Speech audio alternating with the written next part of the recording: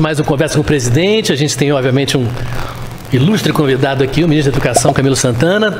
E foi uma noite de dormir pouco, né? Porque acabou tarde ontem a chegada das pessoas que vieram de Gaza, uma longa viagem até o Egito, até o Cairo, pegaram o avião, duas paradas, Las Palmas, Recife, até que chegaram ontem. O presidente recebeu e foi muito, foi muito emocionante, né? Querer mais do que tudo, uma expectativa de muitos dias, né? Se esperando a chegada, a saída dessas pessoas e finalmente eles chegaram ao Brasil. Como é que foi estar lá ontem Olha, à noite? Uchoa, foi uma uma noite inusitada, né? Porque uh, era uma noite muito aguardada, porque nós estávamos há muitos dias tentando trazer o pessoal que estava na faixa de Gaza. Uh, não foram poucas as conversas com vários presidentes de países, do nosso ministro das Relações Exteriores, com o ministro das Relações Exteriores de Israel, do Egito. Era muita conversa e, na verdade, pouca solução. Uh, e finalmente houve uma frustração na quarta-feira passada que estava anunciado que ele ia sair, não saíram. Aí finalmente eles conseguiram sair nesse final de semana e a chegada dele foi uma coisa emocionante porque é, você percebe pela cara que são pessoas sofridas, que são pessoas. Tinha um companheiro que foi no casamento de uma irmã, sabe? E depois de três dias que ele estava lá, aconteceu. As duas meninas que eu conversei ontem à noite, elas foram com a mãe dela, porque a mãe dela estava com câncer, e a mãe dela foi à faixa de Gaza se despedir da família, porque ela tinha certeza que não tinha cura. E ela morre em faixa de Gaza. Então, coisas como essa faz com que a gente fique muito sensível. Nós agora temos responsabilidade de ficar procurando mais brasileiros que estão lá, ou tentar ver se a gente consegue liberar parentes de brasileiros que estão lá, que querem sair, porque é o mínimo que a gente pode fazer. É ser humano no momento em que os humanos precisam de humanismo. Uhum. É isso que o Brasil tem que fazer. O Brasil vai continuar brigando pela paz? Não é possível. É inadmissível que a gente não tenha uma solução para isso. É inadmissível, sabe, que a gente não tenha encontrado uma solução. O Brasil, na presidenta do Conselho de Segurança, fez um trabalho extraordinário. O Mauro Vieira foi excepcional. Produzimos uma nota que teve o apoio de 12 países, teve mais abstenção da, da Rússia e da Inglaterra, que são também do Conselho de Segurança, e apenas um país sabe, teve o direito de vetar e vetou, que foi os Estados Unidos. Quer dizer, isso é incompreensível, Sim. não é admissível. Por isso que nós brigamos para mudar a ONU. A ONU precisa mudar. A ONU de 1945 não vale mais nada em 2023. É por isso que a gente quer mudar a quantidade de pessoas e o funcionamento e acabar com o direito de veto. Então, ontem foi uma noite feliz, eu estou muito feliz. Sabe, espero que a gente tenha a competência de cuidar dessas pessoas que estão aí. Tem jovens que estão estudando, tem meninas e meninos que vão estudar tem crianças que vão ter que entrar na escola, e eu acho que é um papel que nós temos que ajudar, nós, dos governos estaduais, dos governos municipais, para onde essas pessoas vão.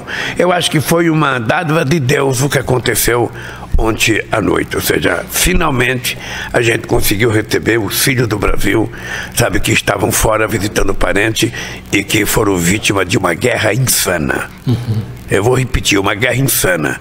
Porque eu disse ontem, é verdade que houve, sabe, um ataque terrorista do Hamas. E nós combatemos desde o início. Mas o comportamento de Israel fazendo o que está fazendo com criança, com hospital, sabe, com mulheres e com crianças. São mais de 5 mil crianças que já morreram. Tem mais 1.250 crianças desaparecidas que certamente estão embaixo dos escombros.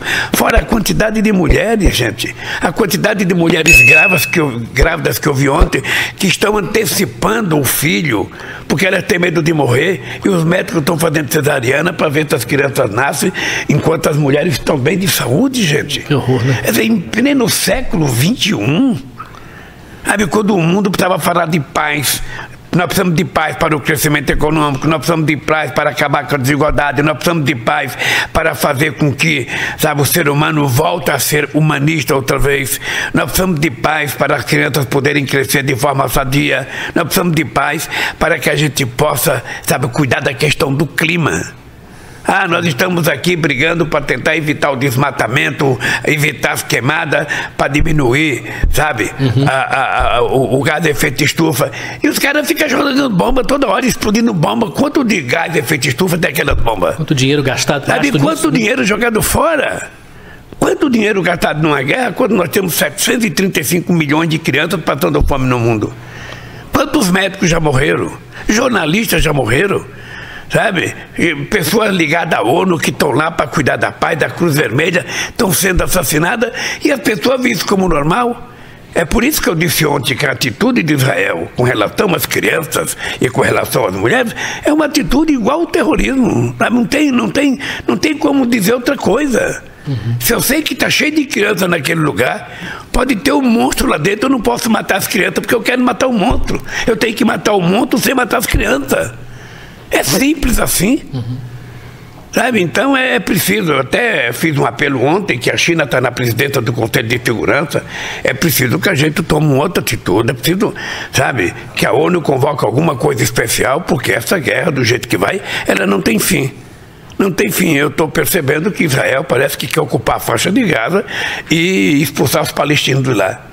Sabe, isso não é correto, não é justo. Nós temos que garantir a criação do Estado palestino para que eles possam viver em paz junto com o povo judeu. Porque nós do Brasil sempre defendemos a criação de dois estados. Uhum.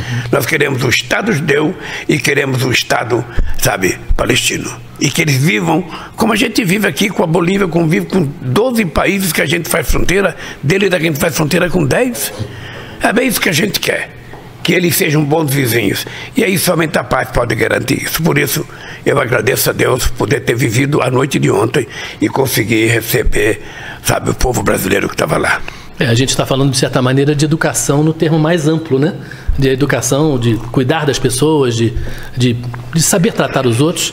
E uma das conversas que o senhor teve foi com essas duas meninas, né? Uma delas universitária. Eu acho que é até é um bom gancho para a gente trazer o, o Camilo para a conversa, porque em relação à universidade a gente tem muita novidade.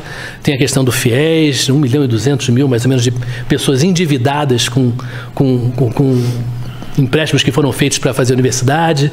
Isso tudo está sendo resolvido aos pouquinhos. Teve a lei de cotas ontem. Camilo, entra no jogo aí. Eu acho que o Camilo, antes de falar do FIES, o Camilo tem um assunto importante para nós, que é o, o, o Enem. Sim. O Enem terminou domingo. Uhum. Uh, foi foi um, um, Enem que foi feito sem nenhum problema, sem nenhum problema que pudesse criar qualquer confusão. Mas o Camilo tem uma preocupação, ou seja, nós precisamos trabalhar para que a juventude no próximo Enem participe mais. Nós precisamos motivar a meninada a participar e para isso nós temos que, enquanto o governo, trabalhar. Como é que foi o Enem, Camilo? Bom, primeiro, bom dia, presidente, bom dia, o show, bom dia aos telespectadores.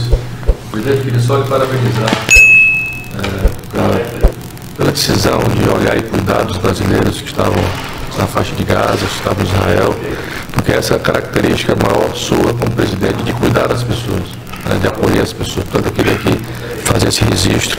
E é isso que eu tenho feito também na educação, cuidar das pessoas que têm oportunidade, têm esperança de educação, de acesso à universidade e o Enem é isso, é garantir que os jovens brasileiros possam ter acesso ao ensino superior no Brasil.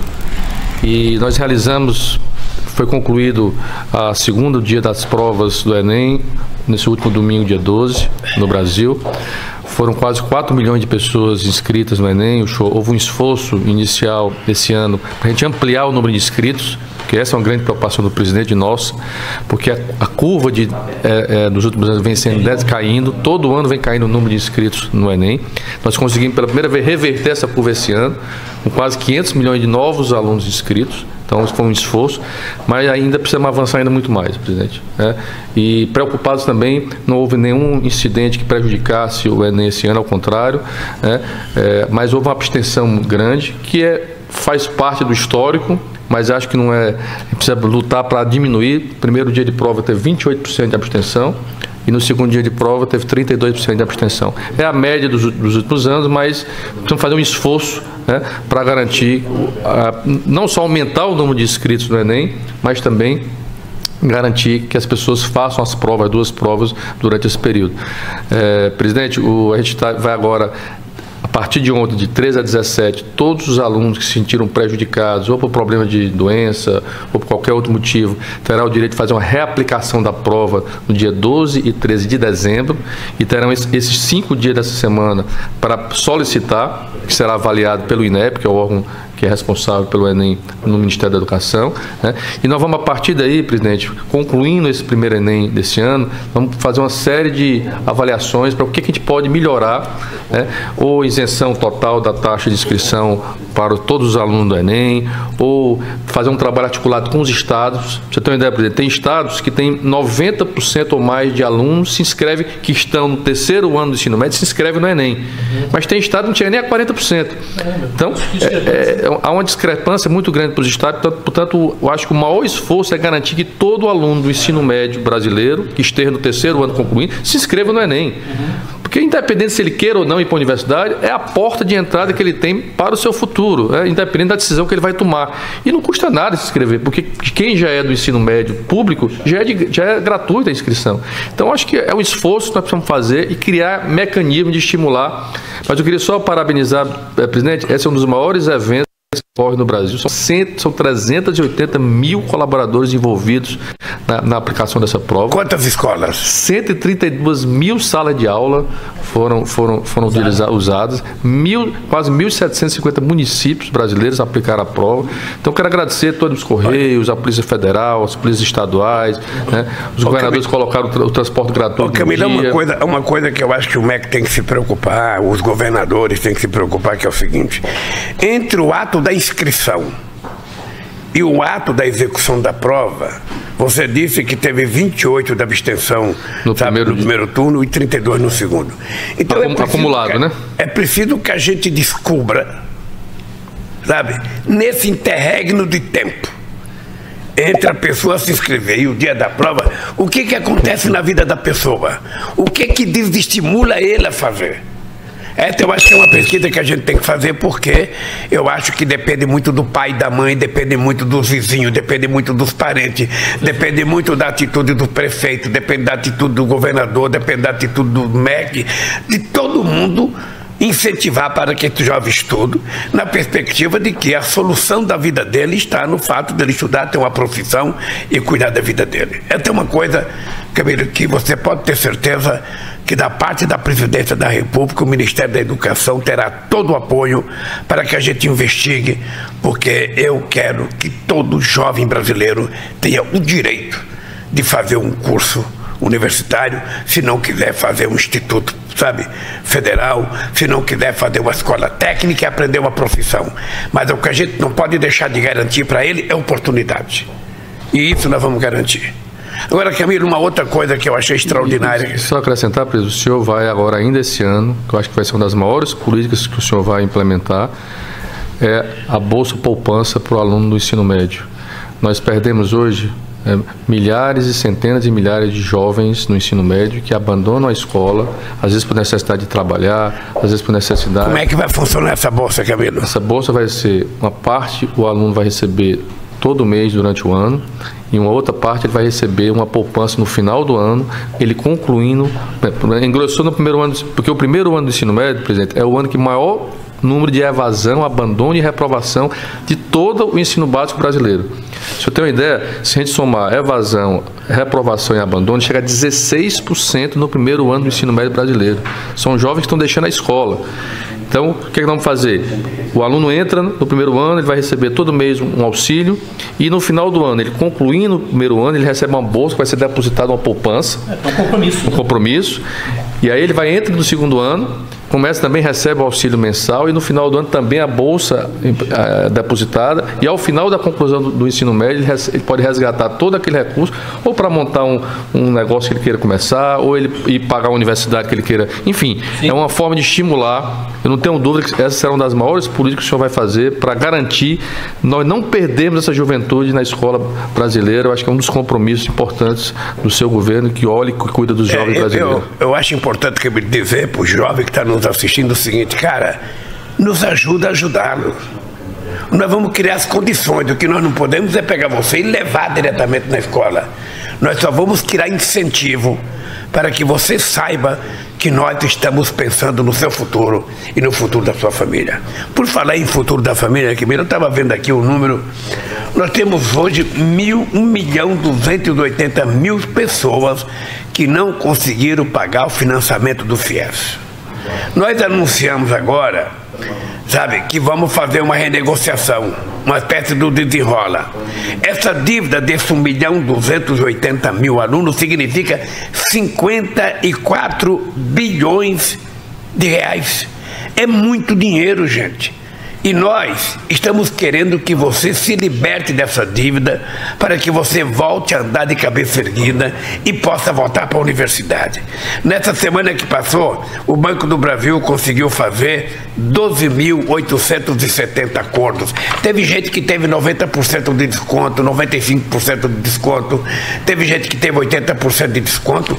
A Caixa Econômica conseguiu fazer 45.159 acordos, ou seja, perfazendo 2 bilhões e 240 milhões.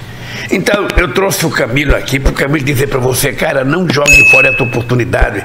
Se você, por algum motivo, por desemprego, por crise familiar, você não conseguiu terminar o seu curso, não conseguiu pagar o FIES, agora você tem a chance de zerar os problemas da sua vida. A gente só quer que você procure a Caixa Econômica Federal, que você procure o Banco do Brasil. Se tiver dúvida, procure o Ministério da Educação, procure o, o FNDE. Ou seja, você tem jeito de solucionar, solucionar o seu problema. Nós queremos é que você reconquiste o direito de andar de cabeça erguida, reconquiste o direito de voltar a estudar, e nós vamos. Nesse caso, tem gente que zera a dívida 100%, tem gente que vai pagar 10% do que deve, 5% do que deve. Não tenha vergonha. Não tenha vergonha, cara, é o seu futuro que está em jogo. Levanta a cabeça, vá na Caixa Econômica, vá no Banco do Brasil e resolva o seu problema como gente grande, porque é para isso que nós criamos esse programa que a gente está apelidando de desenrola educacional. Tá? O Camilo vai falar um pouco sobre isso. Não, presidente, além, além de estar tá cuidando dos jovens que estão na escola, é, essa decisão que o senhor tomou de fazer o desenrola da educação é também cuidar das pessoas que estão endividadas. Eu, a gente fica muito emocionado. O senhor publicou nas suas redes sociais na semana passada uma jovem que se formou em enferme, enfermagem no Maranhão, que trabalha aqui em Brasília. E ela deixou de pagar o FIES porque tinha que mandar o dinheirinho todo mês para a família. Ela está passando no vídeo agora. Ela está passando no vídeo, né? Então são exemplos como esse, que são pessoas que se esforçaram, que, que o senhor deu uma oportunidade eh, no seu governo, no governo da presidenta Dilma, de, ter acesso ao ensino superior, ter esperança de, um, de, um, de ser, ser um profissional, mas que muitas vezes não tem condições de pagar. Então, o que o senhor está fazendo é garantindo que essas pessoas possam se libertar dessas dívidas. É, como o senhor disse, são. Você ter uma ideia, presidente, é, a gente divulgou e está na página do MEC o valor, quantidade de contratos por estado e o volume de recursos. Você ter uma ideia, o maior é São Paulo, são quase 209, são mais de 290 mil contratos de pessoas que estão com dívida no FIES em São Paulo, e isso representa mais de 10 bilhões e 600 mil reais. Oxua. Inclusive, é, é, essa situação dessa enfermeira aqui no, no, no, Brasília, a dívida dela era 25 mil reais, ela vai pagar 5 mil ainda parcelado, né? É, é, sem juros. Tem situações, por exemplo, por exemplo que aqui uma, um cidadão de São Paulo é, que deve 10 mil reais no curso de análise e desenvolvimento de sistema, ele vai ter um desconto de 99%, vai pagar 100 reais, 100,98%. Um aluno de odontologia aqui de Minas Gerais, uma mulher, deve 322 mil reais e vai pagar 25.824 reais. Em, quanto, em quantos meses? Isso ela pode dividir até 150 meses então, sim, é, é, é a condição para que, as, que, essas, que essas pessoas possam se libertar e ter a oportunidade de poder ter mais tranquilidade na vida dela no futuro. Ô, Camilo, eu queria aproveitar esse exemplo que você deu de uma pessoa que deve 300 e vai poder pagar, sabe, 5 mil em, em 150 meses, ou seja, vai, vai fazer um acordo. Deixa, deixa eu dizer uma coisa para vocês. É, você é, brigou com a namorada, você está é, com bronca da escola, você levantou mal-humorado, você não gosta do Lula, você não gosta do Camilo, ou seja, você brigou com a família, você brigou com um amigo, e por isso você desistiu, as matérias estavam difíceis e você resolveu desistir. O jeito mais fácil de um covarde é desistir. E o que a gente quer é que você levanta a cabeça, cara, e vá pra briga. Você, jovem, mulher, jovem, sabe, estudante, levanta a cabeça, vamos acertar a sua dívida para você voltar a estudar. Não jogue fora o seu futuro por medo. Não jogue só fora o teu futuro por uma briguinha qualquer. Não jogue fora o teu futuro por divergência política. Vá na Caixa Econômica Federal e no Banco do Brasil renegociar sua dívida e volte a ser brasileiro de primeira classe. Volte a conquistar o direito que você tem de estudar, o curso que você quiser, o tempo que você quiser, e é para isso que nós criamos o FIES, cara. Por favor, faça um esforço por você mesmo. O maior sonho da sua mãe e o maior sonho do seu pai não é deixar uma herança para você. O maior sonho do seu pai é que você conclua a sua universidade, tenha um curso profissional, seja alguma coisa na vida. Pode ser um enfermeiro, pode ser um médico, pode ser um dentista, pode ser um engenheiro, pode ser um psicólogo, pode ser, sabe, qualquer coisa, escolha. Escolha e vá à luta, porque o governo está garantindo. Você veja que nós estamos colocando 54 bilhões de reais de dívida em negociação para você pagar o que você puder pagar, no tempo que você puder pagar, porque o que nós queremos é que você volte a estudar. É isso que nós queremos. Então, por favor, coragem. Levante cedo da cama, sabe?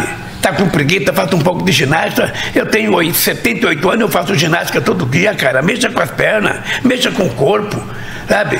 E mexa sobretudo com a sua cabeça. Vá à luta. E nós estamos oferecendo para você uma arma chamada educação. Essa arma é poderosa. Ela é mais poderosa que uma guerra, porque ela liberta você. Ela dá a você o direito de ter uma profissão, de escolher o que você quer ser. É isso que nós estamos fazendo. E é por isso que eu sou grato ao companheiro Camilo, que foi governador do Ceará, que foi um extraordinário governador. É no Ceará que a gente tem as melhores notas da educação no ensino fundamental do Brasil. É no Ceará que a gente tem mais estudantes ganhando medalha de ouro. Sabe, eu não sei se vocês esqueceram, mas da primeira Olimpíada da Matemática que eu fiz, um menino do Ceará, tetraplégico, carregado pelo pai num carrinho de pedreiro de mão para ir para a escola, esse menino já ganhou medalha de ouro de matemática. Oh, se um, um, um jovem com esses problemas todos teve a coragem de disputar e ganhar, por que, que você está com medo, cara? Por que, que você está afinando assim? Porque teve um problema? Não, levanta a cabeça, gente, e vamos resolver esse problema, porque é isso que nós queremos. Nós queremos que você seja um cidadão brasileiro, sabe, eu diria, de primeira categoria, porque o Brasil precisa de gente assim, para o Brasil se tornar um país mais competitivo, um país mais produtivo e um país que esteja entre as maiores economias do mundo. É isso que nós queremos e por isso, Camilo, meus parabéns, sabe? E eu quero que você acompanhe esse desenrola. Todo dia você tem que ligar para a Caixa, todo dia você tem que ligar para o Banco do Brasil. E se alguém não for atendido, procura o Ministério da Educação, procura o MEC porque a gente criou esse programa para resolver o problema de vocês. A gente quer que vocês estejam na universidade, no Instituto Federal, que vocês estejam aprendendo uma profissão para cuidar do futuro de vocês, do pai e da mãe de vocês. Camilo. Presidente, inclusive só lembrando que todos esses, esses, esses, essas pessoas terão o prazo até o dia 31 de maio de 2024, é o prazo final para a renegociação do FIES. Portanto, tem aí nós também mais de Ou seis seja, meses. Até dia 31 de maio. De maio de 2024. É, seis então, meses e meio. Seis meses e meio. Olha, tem tempo. Até dia 31 de maio você pode fazer a negociação. Não fique esperando para fazer dia 30 de maio. Faça logo. E é fácil, pode entrar pelo aplicativo da Caixa, pelo aplicativo do Banco do Brasil, quem não quiser ir na agência, Sim. pelo celular, pelo tablet. E, presidente, on, é, por exemplo, os dados da Caixa, já foram, nesses cinco dias foram 58 mil negociações realizadas. Temos ainda muito chão aí, são 1 milhão e 200 mil.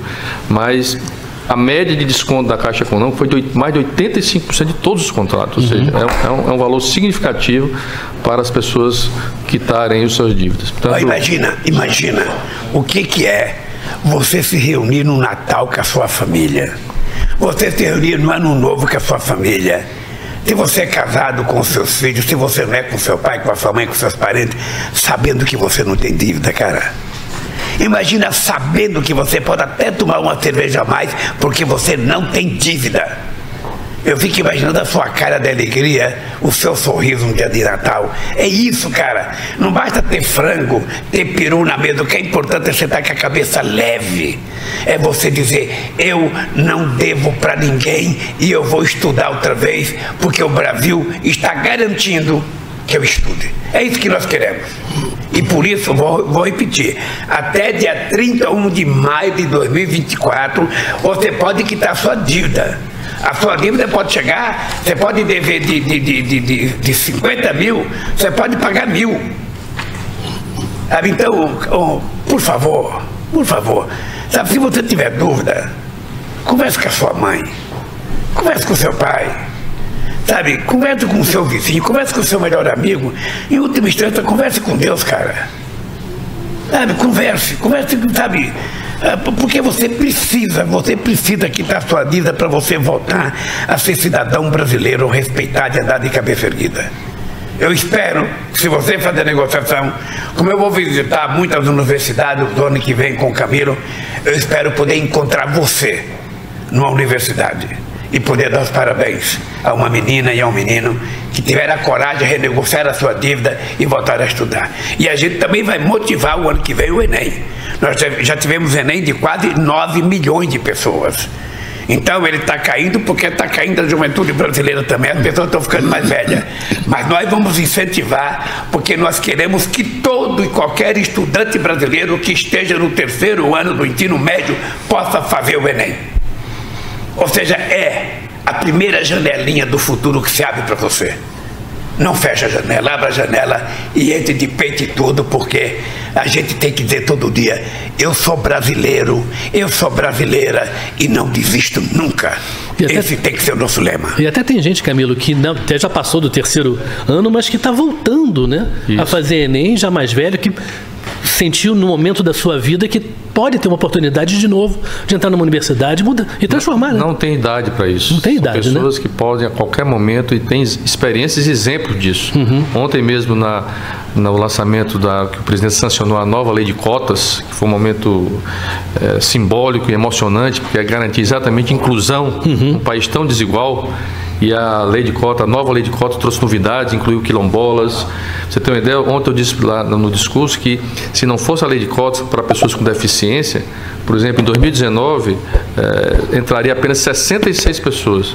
Na lei, na, pela, entrou Só... mais de 6 mil pessoas por conta da lei de cota. Que diferença. Então agora vai garantir mais acesso às pessoas mais vulneráveis, às pessoas mais pobres, porque também leva em consideração a renda. Diminuir agora a renda, o, o corte é para um salário mínimo per capita, antes era um e meio, ou seja, as pessoas mais pobres vai ter mais acesso. Vai entrar quilombolas, ou seja, garantir aí nos próximos 10 anos que a mudança que houve na cara da universidade, hoje tem negros, hoje tem indígenas, hoje tem quilombolas, hoje tem pessoas com deficiência, e essa política é importante. E ontem no depoimento tem uma senhora, uhum. né, eh, se não me engano tinha quase 50 e tantos anos, e estava na universidade, e entrou Sim. também pela lei de cotas na universidade, ou seja, são exemplos como esse que mostram a importância, o sonho das pessoas ter acesso ao ensino superior. Uhum.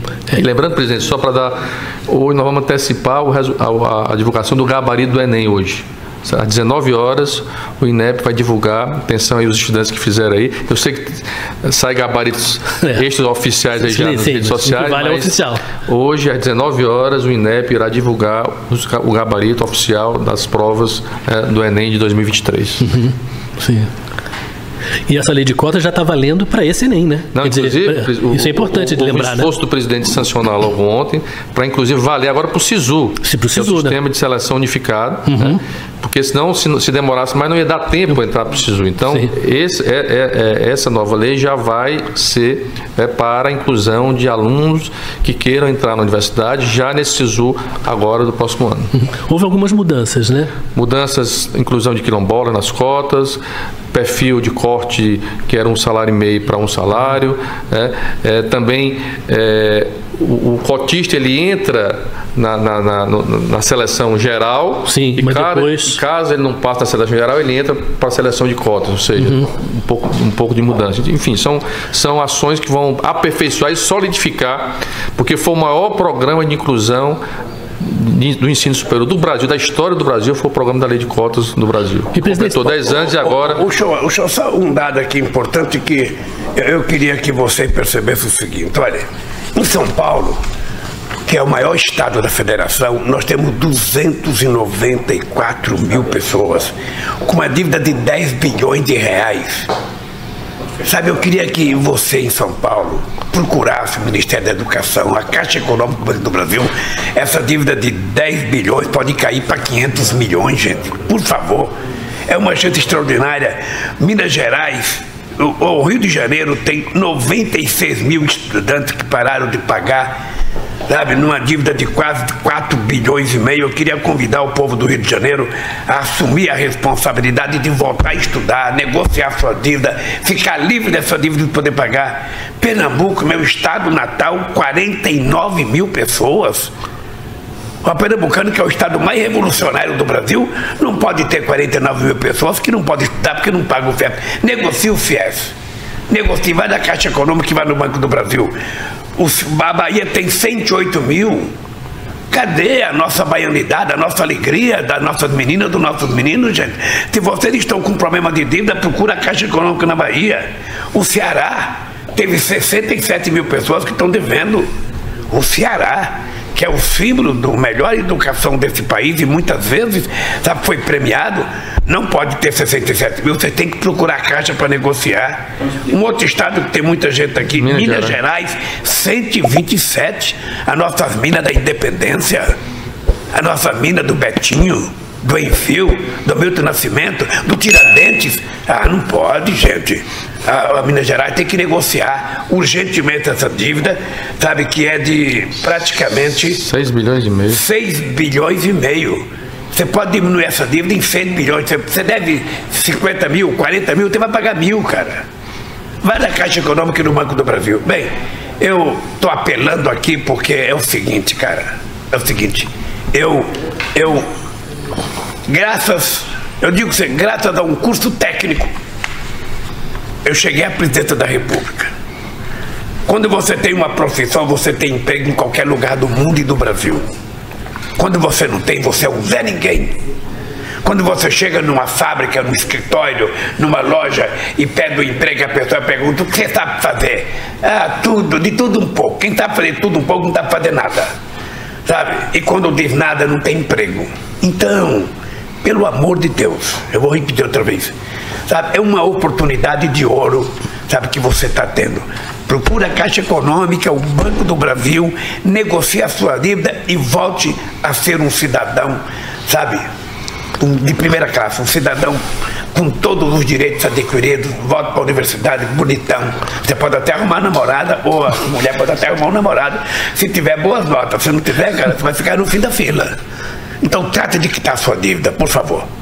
O Brasil precisa de você. Mais do que o Brasil, a sua família espera isso de você. Faça isso. Se não por mim, se não pelo Camilo, se não por você mesmo, faça pelo seu pai, pela sua mãe, pelo seu irmão mais novo, pelo seu filho. As pessoas estão precisando de gestos de ousadia nossa. Por isso eu quero parabenizar o Camilo, porque é uma coisa extraordinária. Nós já fizemos desenrola para quase 70 milhões de brasileiros que têm dívida, que estão pendurados, porque a gente quer que as pessoas possam voltar a comprar alguma coisa, sabe, no final do ano. Um presente para o filho, uma roupa para o filho. E você, se tiver endividado, você não pode comprar. Nós queremos libertar você, para você poder só comprar as coisas que você possa pagar. Porque também a gente não pode gastar o que a gente não tem. Então, esse é um desafio que nós estamos enfrentando agora. E nós queríamos contar com todos vocês para que esse Brasil volte a sorrir como nós sorríamos há muito tempo atrás. Presidente, a gente está chegando no fim do programa aqui. Agora tem um assunto que é importante agora para o futuro, que é importante para os brasileiros, é importante para os argentinos. Domingo que vem tem eleição na Argentina, é o segundo turno, né? Dois candidatos. E a Argentina é muito importante para a gente. Qual é, qual, é, qual é a sua visão em relação a esse futuro da relação Brasil e Argentina, seja quem ganhar? Olha, o meu exemplo de amizade com a Argentina foi que quando eu ganhei as eleições em 2002, o primeiro país que eu visitei antes de tomar posse foi a Argentina. Na época era o Dualdo e o companheiro presidente. Sabe, em 2000 agora, quando eu votei, quando eu votei, o primeiro país também foi a Argentina. E por quê? Porque a Argentina é muito importante para o Brasil. Eu não convivi com todos os presidentes, mas eu lembro do Afonso e do Sarney criando o Mercosul. Uhum. Eu lembro sabe, da minha relação com o Kirchner, com a Cristina. Ô, gente, quando eu entrei na presidência em 2003, o fluxo comercial entre Brasil e Argentina era 7 bilhões de dólares. Quando eu deixei a presidência em 2010, era 39 bilhões de dólares.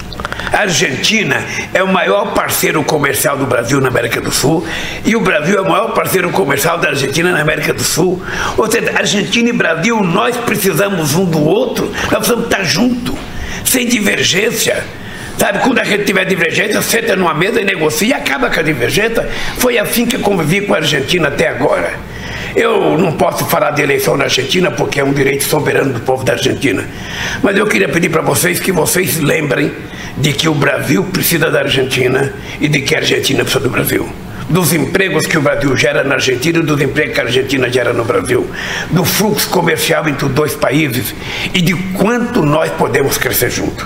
Para isso é preciso ter um presidente que goste de democracia, que respeite as instituições, que goste do Mercosul, que goste da América do Sul e que pense na criação de um bloco importante. Hoje o mundo está, sabe, dividido em blocos, é o bloco europeu, é o bloco asiático. Nós precisamos criar o nosso bloco para negociar, sabe, comercialmente com o resto do mundo. Nós poderemos fazer um acordo da América do Sul, do Mercosul com, com a China, nós podemos fazer com a União Europeia, nós podemos fazer com os Estados Unidos.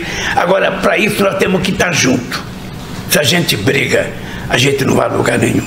Eu só queria pedir para o povo argentino, na hora de votar, pense na Argentina.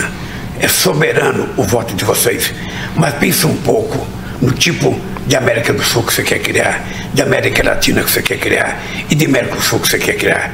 Juntos nós seremos fortes, separados nós somos fracos. É isso que eu queria que você pensasse na hora de votar. Obrigado, presidente. Obrigado, Camilo. Agradeço a vocês que nos assistiram aí, também pelas rádios, também pela, pelo Spotify, depois vocês podem ver pelo YouTube. Enfim, até terça-feira que vem.